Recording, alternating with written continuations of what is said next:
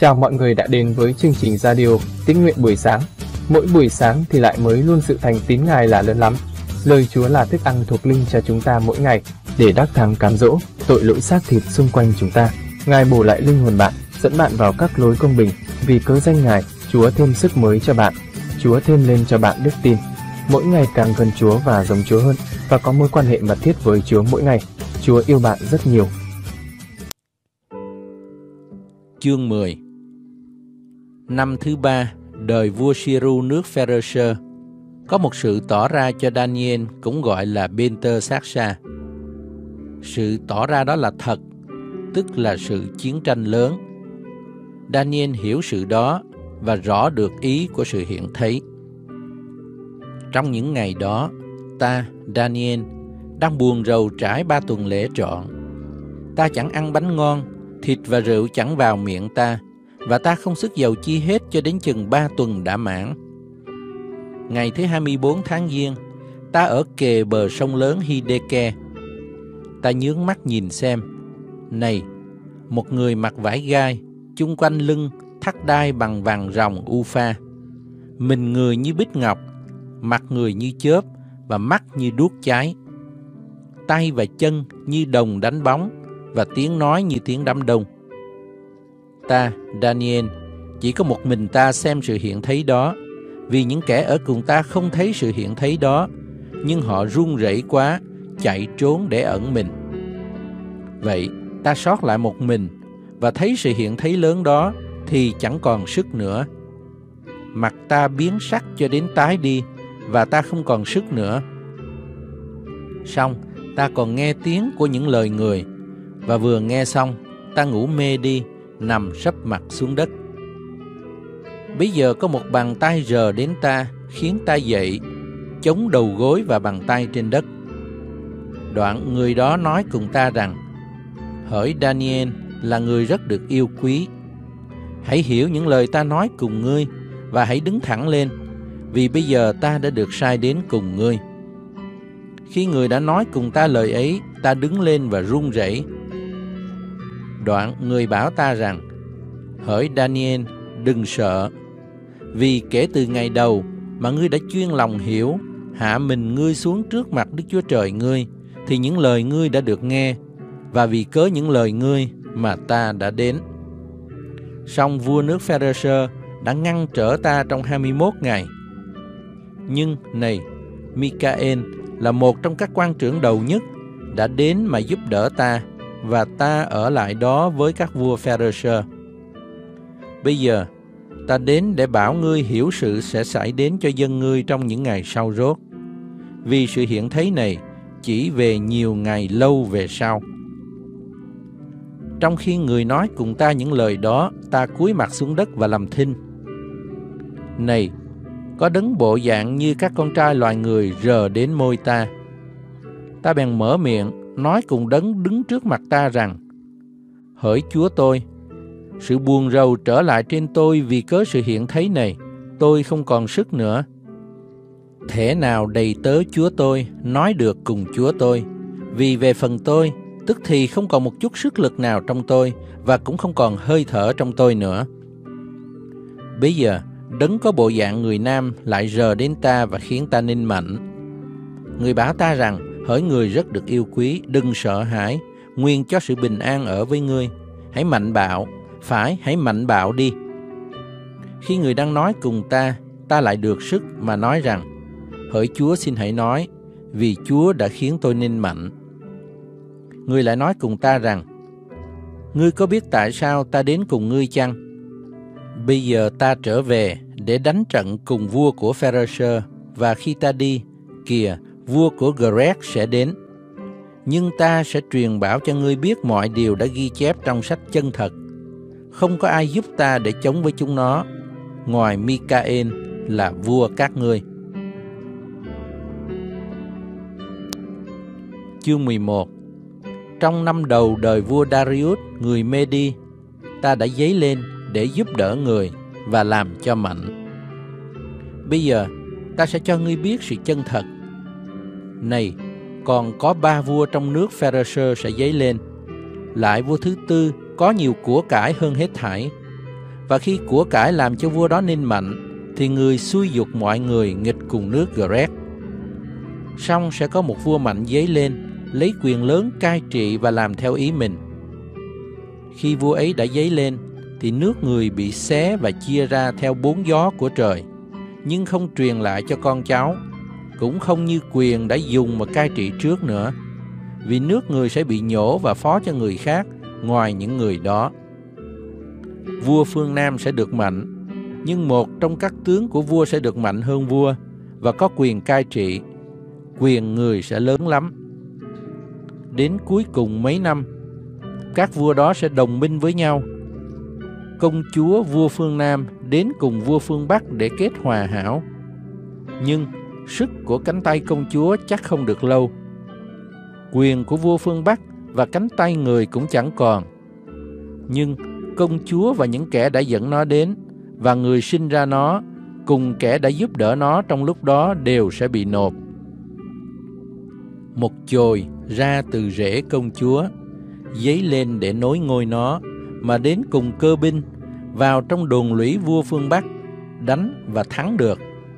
Người bắt cả các thần họ làm phu tù đem sang nước Egypto, cả các tượng đúc và các khí mạnh bằng vàng bằng bạc nữa. Đoạn trong vài năm, người sẽ không đánh vua phương Bắc. Vua này sẽ tiến vào nước vua phương Nam, nhưng lại trở về xứ mình. Hai con trai vua phương Bắc đi chiến trận. Nhóm một đoàn cơ binh lớn sẽ đến, sẽ tràn ra và đi qua. Chúng nó sẽ trở về và chiến trận cho đến đồn lũy vua phương Nam. Bây giờ vua phương Nam tức giận, ra ngoài để đánh nhau cùng vua phương Bắc, sắp sẵn sàng một cơ binh đông và cơ binh của vua phương Bắc phải phó vào tay người. Cơ binh đó tan rồi, thì lòng vua phương Nam sẽ lên kiêu ngạo. Người sẽ làm cho ngã xuống bấy nhiêu vạn người, nhưng không được thắng.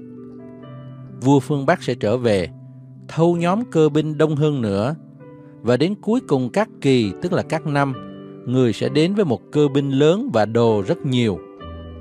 Trong khi ấy, nhiều người nổi lên nghịch cùng vua phương Nam, và các con cái của kẻ hung dữ trong dân ngươi sẽ dấy lên, hầu cho ứng nghiệm sự hiện thấy, nhưng họ sẽ ngã xuống. Vậy, vua phương Bắc sẽ đến, dựng đồn lũy, lấy một thành vững bền, và quân phương Nam, dầu cho đến quân tinh nhuệ nữa, cũng không thể đứng vững được, vì chẳng có sức nào chống lại được. Nhưng kẻ đến đánh nó sẽ làm tùy ý mình, và chẳng có ai đương lại với người. Người sẽ đứng trong đất vinh hiển cầm sự hủy phá trong tay. Người quyết lòng lấy sức của cả nước mình mà đến. Đoạn, người sẽ giao hòa với nó và sẽ làm ứng nghiệm. Nó sẽ đem con gái của đàn bà cho nó để làm bại hoại, nhưng nó sẽ không đứng được và cũng không thuộc về người. Đoạn, người quay sang các cù lao và chiếm lấy nhiều nơi. Nhưng một vua sẽ làm cho thôi sự sỉ nhục người làm ra và còn làm cho sự đó lại đổ trên người. Đoạn, người sẽ trở mặt về các đồn lũy đất mình, nhưng chắc phải vấp và ngã và chẳng được tìm thấy nữa. Bây giờ, có một vua khác sẽ nối ngôi người, sai kẻ bức hiếp đi qua nơi vinh hiển của nước. Nhưng trong mấy ngày, người sẽ phải bại hoại, chẳng vì cơn giận dữ hay trận chiến tranh nào cả. Lại có kẻ đáng khinh dễ lên thay vì vua đó mà người ta không tôn người làm vua. Nhưng người sẽ đến lúc yên ổn, dùng lời xiểm nịnh mà mưu chiếm lấy nước. Những cơ binh đầy tràn sẽ bị thua và vỡ tan trước người, cả đến vua của sự giao ước cũng vậy. Dầu có lập hòa bình với vua kia, người cũng làm việc cách dối trá, đem quân đến và được mạnh bởi một dân ít người người sẽ nhân lúc yên ổn chiếm lấy các khu đất tốt nhất trong tỉnh và sẽ làm điều mà tổ phụ và liệt tổ người chưa hề làm. Lấy những đồ đã cướp đã giật được và của cải mà chia cho những người theo mình. Lập mưu đánh các đồn lũy nhưng chỉ trong một thì mà thôi. Đoạn, vua đó lại phấn chấn sức mình và lòng mình, dùng một cơ binh lớn đánh vua phương Nam. Vua phương Nam sẽ đi đánh giặc bằng một cơ binh lớn và mạnh lắm, nhưng người không thể chống cự lại được, bởi vì sẽ có người ta lập mưu nghịch cùng người. Những kẻ ăn trong bàn vua sẽ làm cho vua bại hoại, cơ binh người sẽ tràn ra và nhiều người bị giết và ngã xuống. có hai vua ấy, trong lòng chỉ chực làm hại, ngồi cùng bàn tiệc mà nói dối. Song sự đó chẳng thành, vì sẽ còn có sự cuối cùng nơi kỳ đã định. Vua sẽ trở về đất mình với nhiều của cải lắm. Lòng người đã rắp đối địch cùng giao ước thánh, và người sẽ làm theo ý mình và trở về đất mình. Đến kỳ đã định, người sẽ trở lại và vào phương Nam, nhưng lần sau không giống như lần trước. Vì những tàu ở Kittim sẽ đến nghịch cùng người, cho nên người sẽ lo buồn và trở về. Người sẽ tức giận nghịch cùng giao ước thánh và làm theo ý mình. Người sẽ trở về và coi trọng những kẻ bỏ giao ước thánh. Những quân lính của người mộ sẽ dấy lên, làm ô uế nơi thánh cùng đồn lũy, cất của lễ thiêu hàng dân và lập sự gớm ghiếc làm ra sự hoang vu. Người dùng lời nịnh hót mà dỗ dành những kẻ làm sự dữ nghịch cùng giao ước. Nhưng dân sự biết Đức Chúa Trời mình sẽ mạnh mẽ mà làm. Những kẻ khôn sáng trong dân sẽ dạy dỗ nhiều người, nhưng họ sẽ phải ngã bởi gươm, bởi ngọn lửa, bởi sự phu tù và sự cướp bóc lâu ngày. Trong khi họ sa ngã, họ cũng sẽ được cứu một ít, song nhiều kẻ sẽ lấy lời nịnh hót mà theo họ. Trong những kẻ khôn sáng sẽ có mấy người sa ngã, hầu cho luyện lọc chúng nó, làm cho tinh sạch và trắng, cho đến kỳ sau rốt, vì việc đó còn có kỳ nhất định. Vua sẽ làm theo ý muốn mình, kiêu ngạo và lên mình cao hơn hết các thần, nói những lời lạ lùng nghịch cùng Đức Chúa Trời của các thần. Người sẽ được may mắn cho đến khi cơn thạnh nộ Chúa được chọn, bởi vì điều gì đã có chỉ định thì phải ứng nghiệm người sẽ không đói xem các thần của tổ phụ mình, cùng kẻ mà đàn bà vẫn mến. Người sẽ chẳng coi thần nào ra gì, bởi vì người tôn mình lên cao hơn hết cả. Nhưng người sẽ ở chỗ mình, tôn kính thần của các đồn lũy. Người sẽ lấy vàng, bạc, đá quý và những vật tốt đẹp mà tôn kính thần tổ phụ mình không biết. Người sẽ cậy thần lạ giúp cho mà lấy các đồn lũy vững bền và người sẽ ban thêm sự vinh hiển cho kẻ nào nhận mình. Người cho họ cai trị nhiều người và chịu tiền bạc mà chia đất. Đến kỳ sau rốt, vua phương Nam sẽ tranh chiến cùng người. Vua phương Bắc đem xe binh, lính kỵ và nhiều tàu, xông đến vua đó như cơn gió lốc. Người sẽ lấn vào các nước, tràn tới và đi qua.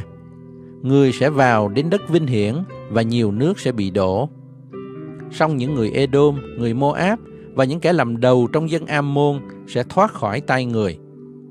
Người sẽ giăng tay ra trên các nước và đất Egypto sẽ không thoát khỏi. Người sẽ chiếm lấy các của báu, vàng và bạc cùng hết thảy đồ quý báu của Egypto. Dân Liby và dân Ethiopia sẽ theo sau người. Song những tin tức từ phương Đông và phương Bắc sẽ đến làm cho người bối rối người sẽ giận lắm mà đi ra để tàn phá và hủy diệt nhiều người. Người sẽ đặt các trại của cung mình ở khoảng giữa biển, cùng núi Vinh Hiển và Thánh. Xong, người sẽ đến sự cuối cùng mình, và chẳng có ai đến giúp đỡ người cả. Chương 12 Trong kỳ đó, Mikael, quan trưởng lớn, là đấng đứng thay mặt con cái dân ngươi sẽ trỗi dậy. Lúc đó sẽ có tai nạn, Đến nỗi từ khi mới có nước đến kỳ đó cũng chẳng có như vậy bao giờ. Bây giờ, trong vòng dân sự ngươi, kẻ nào được ghi trong quyển sách kia thì sẽ được cứu. Nhiều kẻ ngủ trong bụi đất sẽ thức dậy, kẻ thì để được sự sống đời đời, kẻ thì để chịu sự xấu hổ nhơ nhút đời đời. Những kẻ khôn sáng sẽ được rực rỡ như sự sáng trên vòng khung, và những kẻ dắt đem nhiều người về sự công bình sẽ sáng láng như các ngôi sao đời đời, mãi mãi. Còn như ngươi, hỡi Daniel, ngươi hãy đóng lại những lời này và hãy đóng ấn sách này cho đến kỳ cuối cùng. Nhiều kẻ sẽ đi qua đi lại và sự học thức sẽ được thêm lên. Bây giờ ta, Daniel nhìn xem, và này, có hai người khác đang đứng, một người ở bờ bên này sông, một người ở bờ bên kia một người hỏi người mặc vải gai đang đứng ở trên nước sông rằng Đến cuối cùng, những sự lạ này được bao lâu?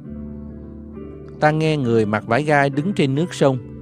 Người cất tay hữu và tay tả lên trời, chỉ đấng hằng sống mà thề rằng sẽ trải qua một kỳ, những kỳ và nửa kỳ. Và khi quyền của dân thánh đã bị tan tác hết, thì các sự này đều xong. Ta Daniel nghe những điều đó nhưng ta không hiểu. Và ta nói rằng, lạy Chúa tôi, cuối cùng các sự này sẽ ra thế nào? Người trả lời rằng, hỡi Daniel hãy đi, bởi vì những lời này đã đóng lại và đóng ấn cho đến kỳ cuối cùng. Sẽ có nhiều kẻ tự làm nên tinh sạch và trắng và được luyện lọc. Nhưng những kẻ dữ sẽ cứ làm điều dữ. Trong những kẻ dữ chẳng ai sẽ hiểu, song kẻ khôn sáng sẽ hiểu. Từ kỳ trừ bỏ của lễ thiêu hàng dân và sự gớm ghiếc làm cho hoang vu sẽ được lập lên, thì sẽ có 1.290 ngày. Phước thay cho kẻ đợi và đến 1.335 ngày. Còn ngươi hãy đi cho đến có kỳ cuối cùng. Ngươi sẽ nghỉ ngơi và đến cuối cùng những ngày, ngươi sẽ đứng trong sản nghiệp mình. Phúc âm mát chương 1 Đầu tin lành của Đức Chúa Giêsu Christ là con Đức Chúa Trời, như đã chép trong sách tiên tri Esai rằng: Này, ta sai sứ ta đến trước mặt ngươi, ngươi sẽ dọn đường cho ngươi. Có tiếng kêu trong đồng vắng rằng, hãy dọn đường Chúa, ban bằng các nẻo Ngài. Văn đã tới trong đồng vắng, vừa làm vừa giảng phép báp têm ăn năn cho được tha tội. Cả xứ Jude và hết thảy dân sự thành Jerusalem đều đến cùng người, xưng tội mình và chịu người làm phép báp têm dưới sông Jordan. Văn mặc áo lông lạc đà, buộc dây lưng da ngang hông, ăn những châu chấu và mật ong rừng. Người giảng dạy rằng, có đấng quyền phép hơn ta đến sau ta. Ta không đáng cúi xuống mở dây dài Ngài. Ta làm phép bắp tim cho các ngươi bằng nước, nhưng Ngài sẽ làm phép bắp tim cho các ngươi bằng Đức Thánh Linh. Và trong những ngày đó, Đức Chúa Giêsu đến từ Nazareth là thành xứ Galilee và chịu dân làm phép bắp tim dưới sông Giô-đanh. Vừa khi lên khỏi nước, Ngài thấy các tầng trời mở ra và Đức Thánh Linh ngự xuống trên mình Ngài như chim bồ câu. Là có tiếng từ trên trời phán rằng, Ngươi là con yêu dấu của ta, đẹp lòng ta mọi đường. Tức thì Đức Thánh Linh dục Ngài đến nơi đồng vắng. Ngài ở nơi đồng vắng chịu quỷ sa tăng cám dỗ 40 ngày, ở chung với thú rừng và có thiên sứ hầu việc Ngài. Sau khi Giăng bị tù, Đức Chúa Giêsu đến xứ Galilee giảng tin lành của Đức Chúa Trời mà rằng Kỳ đã chọn, nước Đức Chúa Trời đã đến gần. Các ngươi hãy ăn năn và tin đạo tin lành. Ngài đi dọc theo mé biển Galilee, thấy Simon với anh Rê em người, đương thả lưới dưới biển, vì hai người vốn làm nghề chài. Đức Chúa Giêsu bèn phán cùng họ rằng: Hãy theo ta, và ta sẽ khiến các ngươi trở nên tay đánh lưới người. Tức thì hai người bỏ chài lưới mà theo Ngài. Đi một đổi xa xa, Ngài thấy Gia Cơ, con CBD với em là Giăng đương vá lưới trong thuyền. Ngài liền kêu hai người, thì họ để CBD cha mình ở lại trong thuyền với mấy người làm thuê mà theo Ngài. Kế đó, đi đến thành Capernaum. Nhằm ngày sa bát, tức thì Đức Chúa Giêsu vào nhà hội khởi dạy dỗ tại đó chúng đều cảm động về sự dạy dỗ của Ngài. Vì Ngài dạy như có quyền phép, chứ chẳng phải như các thầy thông giáo đâu. Và cũng một lúc ấy, trong nhà hội có người bị tà ma ám kêu lên rằng: Hỡi Giêsu người Nazareth, chúng tôi với Ngài có sự gì chăng? Ngài đến để diệt chúng tôi sao? Tôi biết Ngài là ai, là đấng thánh của Đức Chúa Trời. Nhưng Đức Chúa Giêsu nghiêm trách nó rằng: Hãy nín đi, ra khỏi người này. Tà ma bèn vật mạnh người ấy, cất tiếng kêu lớn và ra khỏi người. Ai nấy đều lấy làm lạ đến nỗi hỏi nhau rằng, cái gì vậy? Sự dạy mới sao? Người này lấy quyền phép sai khiến đến tà ma mà nó cũng phải vâng lời. Danh tiếng Đức Chúa Giêsu tức thì đồn ra khắp cả miền xung quanh xứ Galilee. Vừa ở nhà hội ra, Chúa và môn đồ đi với gia cơ cùng Giăng vào nhà Simon và Andre. vả bà gia Simon đương nằm trên giường, đau rét. Tức thì chúng thưa với Ngài về chuyện người. Ngài bèn lại gần, cầm tay người đỡ dậy, bệnh rét dứt đi và người bắt tay hầu hạ. Đến chiều, mặt trời đã lặn, người ta đem mọi kẻ bệnh và kẻ bị quỷ ám đến cùng Ngài. Cả thành nhóm lại trước cửa. Ngài chữa lành nhiều kẻ đau các thứ bệnh và đuổi nhiều quỷ, chẳng cho phép các quỷ nói ra, vì chúng nó biết Ngài. Sáng hôm sau, trời còn mờ mờ. Ngài chờ dậy, bước ra, đi vào nơi vắng vẻ và cầu nguyện tại đó. Simon cùng đồng bạn đi tìm Ngài. Khi kiếm được thì thưa rằng, hết thảy đương tìm Thầy. Ngài phán, chúng ta hãy đi nơi khác trong những làng xung quanh đây để ta cũng giảng đạo ở đó nữa, vì ấy là cốt tại việc đó mà ta đã đến. Ngài trải khắp xứ Galilee, giảng dạy trong các nhà hội và đuổi quỷ. Có một người phun đến cùng Ngài, quỳ xuống cầu xin rằng, nếu Chúa hứng, có thể khiến tôi sạch được.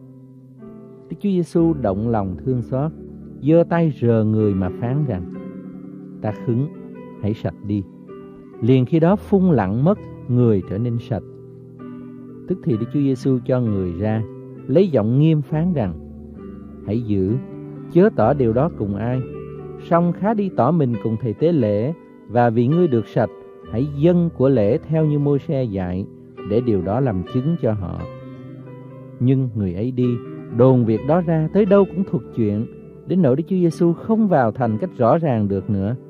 Song Ngài ở ngoài, tại nơi vắng vẻ và người ta từ bốn phương đều đến cùng Ngài.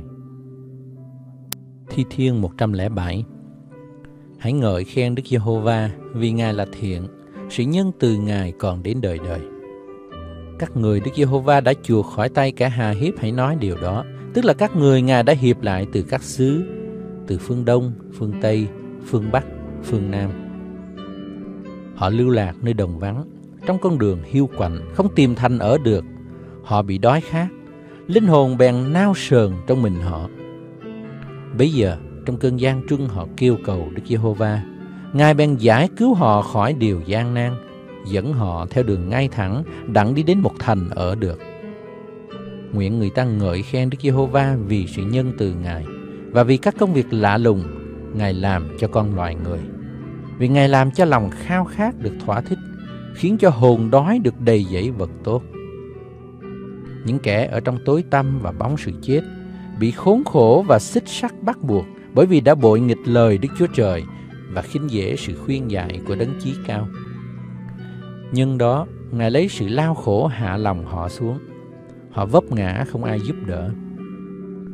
Bây giờ, trong cơn gian trưng, họ kêu cầu Đức Giê-hô-va. Ngài bèn giải cứu họ khỏi điều gian nan, rút họ khỏi sự tối tăm và bóng sự chết, cũng bẻ gãy xiềng của họ. Nguyện người ta ngợi khen Đức Giê-hô-va vì sự nhân từ Ngài và vì các công việc lạ lùng Ngài làm cho con loài người, vì Ngài đã phá cửa đồng và gãy các song sắt. Kẻ ngu dại bị khốn khổ vì sự vi phạm và sự gian ác mình. Lòng chúng nó gớm ghê các thứ đồ ăn, Họ đến gần cửa sự chết. Bây giờ trong cơn gian truân họ kêu cầu Đức Giê-hô-va. Ngài bèn giải cứu họ khỏi điều gian nan. Ngài ra lệnh chữa họ lành, rút họ khỏi cái huyệt. Nguyện người ta ngợi khen Đức Giê-hô-va vì sự nhân từ Ngài và vì các công việc lạ lùng Ngài làm cho con loài người. Nguyện chúng nói dân của lễ thù ân lấy bài hát vui mừng mà thuật các công việc Ngài. Có người đi xuống tàu trong biển và làm việc nơi nước cả. Kẻ ấy thấy công việc Đức Giê-hô-va, xem phép lạ Ngài trong nước sâu. Ngài biểu, bèn có trận gió bão nổi các lượng sóng lên, đưa cao đến các tầng trời rồi hụp xuống tới vực sâu. Lòng họ tiêu tan vì khốn khổ, họ choáng váng siêu tó như một người say, sự khôn ngoan họ đều mất hết. Bây giờ trong cơn gian truân họ kêu cầu Đức Giê-hô-va. Ngài bèn giải cứu họ khỏi điều gian nan. Ngài ngừng bão tố, đổi nó ra bình tĩnh và sống êm lặng. Họ bèn vui mừng vì sống êm lặng. Chúa dẫn họ vào bến họ ước ao. Nguyện người ta ngợi khen Đức Giê-hô-va vì sự nhân từ Ngài và vì các công việc lạ lùng Ngài làm cho con loài người. người ta cũng hãy tôn cao Ngài trong hội dân sự và ngợi khen Ngài tại nơi hiệp tập các trưởng lão. Ngài đổi sông ra đồng vắng, suối nước thành đất khô và đất màu mỡ ra đất mặn vì có sự gian ác của dân ở tại đó. Ngài biến đồng vắng thành ao nước, đất khô ra những suối nước. Ngài làm cho những kẻ đói được ở tại đó và xây lập thành đặng ở. Họ gieo ruộng và trồng nho, ruộng và nho sinh bông trái. Đức Chúa Trời ban phước cho họ, đến đổi họ sinh sản nhiều thêm. Ngài không để cho súc vật họ bị hao hớt. Họ lại bị hạ số và phải cực lòng vì sự hà hiếp, sự gian nan và sự buồn rầu. Ngài đổ sự nhút nhơ trên vua chúa, khiến họ phải lưu lạc trong nơi vắng vẻ không đường. Nhưng Ngài vớt kẻ thiếu thốn khỏi hoạn nạn, làm cho người ấy được gia quyến đông như bầy chiên. Các người ngay thẳng sẽ thấy điều ấy và vui vẻ, còn các kẻ ác đều phải ngậm miệng lại. Phàm kẻ nào khôn ngoan sẽ chú ý về điều này và suy gẫm sự nhân từ của Đức Giê-hô-va. Cảm ơn Chúa lời của Ngài bày tỏ cho con. Thì giờ này chúng ta đến với Chúa trong sự cầu nguyện. Xin Thánh Linh Chúa, hãy bày tỏ cho con biết, Ngài dạy dỗ hay ấn chứng cho con điều gì qua lời của Ngài. Xin lời của Ngài được linh hồn con ăn nuốt vào trong tấm lòng và tâm trí của con mỗi ngày thêm lên lời của Ngài, để linh hồn con được tăng trưởng, thêm lên đức tin đặt để nơi Ngài. Xin Chúa cho con biết về Ngài nhiều hơn và con khát khao mối quan hệ mật thiết với Ngài nhiều hơn. Lạy Chúa con cảm ơn Ngài, mỗi ngày mới Ngài ban cho con hơi thở để tiếp tục sống trên đất này. Con nguyện huyết báo của Chúa Giêsu Christ thanh tẩy, tẩy sạch, bôi xóa những suy nghĩ, tư tưởng, hành động trong tâm trí, trong tấm lòng của con như ấy là gian dâm, ô uế, lung tuồng, thờ hình tượng, phù phép, thù oán, tranh đấu, ghen ghét, buồn, giận, cãi lẫy, mất bình, bè đảng, ganh gổ, say sưa, mê ăn uống, cùng các sự khác giống như vậy. Con nguyện xin dòng huyết báo của Ngài tẩy sạch bôi xóa sự xác thịt của con không đẹp lòng Ngài ra khỏi con ngay giờ này. Bây giờ con được thánh sạch đứng trước mặt Ngài. Chúa ơi xin hãy cáo trách và thanh tẩy khi môi miệng con nói điều dơ giấy không đẹp lòng Ngài. Xin Chúa hãy thêm sức và hướng dẫn con ăn, hoặc uống, hay là làm sự chi khác, hãy vì sự vinh hiển Đức Chúa Trời mà làm. Xin Chúa thêm lên cho con đức tin để mỗi ngày con trong cậy nơi Chúa càng hơn. Xin Chúa thêm lên sự sức giàu trên con để con bày tỏ danh của Ngài trên chính đời sống hàng ngày của con, để con như muối của đất, ánh sáng của thế gian. Con nguyện Thánh Linh Đức Chúa Trời đổ đầy, đầy dẫy con Chúa ơi, những bông trái của Thánh Linh, ấy là lòng yêu thương, sự vui mừng, bình an nhịn nhục, nhân từ, hiền lành, trung tín, mềm mại, tiết độ đầy dẫy trên con. Con xin Chúa thêm sức mới, thêm đức tin cho con. Xin Chúa dẫn dắt con để con đắc thắng một ngày mới trong ngày. Con cảm ơn Chúa, con dâng mọi vinh hiển tôn quý lên ba ngôi Đức Chúa Trời toàn năng, và phước hạnh con nhận lãnh từ nơi Ngài. Và con thành kính dâng lên cha lời cầu nguyện trong danh Chúa Giêsu Christ. Amen. Cảm ơn bạn đã lắng nghe. Xin Thánh Linh Chúa cho sứ điệp này để khích lệ thêm động lực bạn bước đi với Chúa mỗi ngày. Mọi đóng góp, ý kiến hay góp phần dâng hiến cho chương trình, xin gửi về gmail, dưỡng linh cơ đốc 2020a gmail.com bạn ủng hộ chương trình bằng cách chia sẻ chương trình rộng rãi trên mạng Internet, cộng đồng xã hội. Hẹn bạn dưỡng linh hàng ngày tiếp theo.